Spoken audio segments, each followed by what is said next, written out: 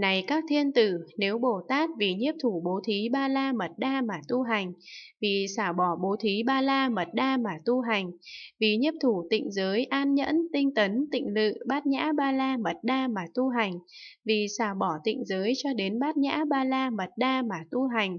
thì Bồ Tát ấy chẳng có thể tu bát nhã ba la mật đa, cũng chẳng có thể tu tịnh lự,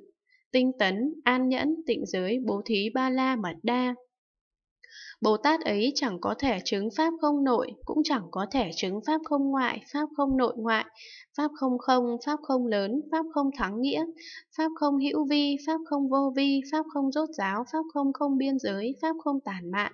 Pháp không không đổi khác, Pháp không bản tánh, Pháp không tự tướng, Pháp không cộng tướng, Pháp không tất cả Pháp, Pháp không chẳng thể nắm bắt được, Pháp không không tánh, Pháp không tự tánh, Pháp không không tánh tự tánh. Bồ Tát ấy chẳng có thể chứng nhân như, cũng chẳng có thể chứng Pháp giới, Pháp tánh. Tánh chẳng hư vọng, tánh chẳng đổi khác, tánh bình đẳng, tánh ly sanh. Định Pháp, trụ Pháp, thật tế, cảnh giới hư không, cảnh giới bất tư nghỉ. Bồ Tát ấy chẳng có thể tu bốn niệm trụ, cũng chẳng có thể tu bốn chánh đoạn, bốn thần túc,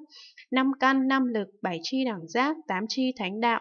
Bồ Tát ấy chẳng có thể chứng thánh đế khổ, cũng chẳng có thể chứng thánh đế tập diệt đạo. Bồ Tát ấy chẳng có thể tu bốn tịnh lự, cũng chẳng có thể tu bốn vô lượng, bốn định vô sắc.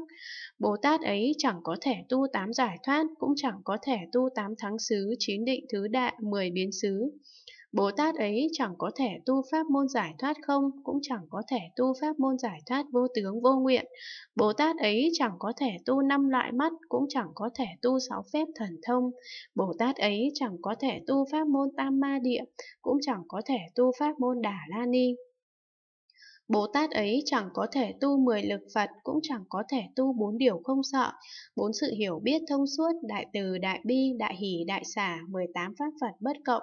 Bồ Tát ấy chẳng có thể tu trí nhất thiết, cũng chẳng có thể tu trí đạo tướng, trí nhất thiết tướng.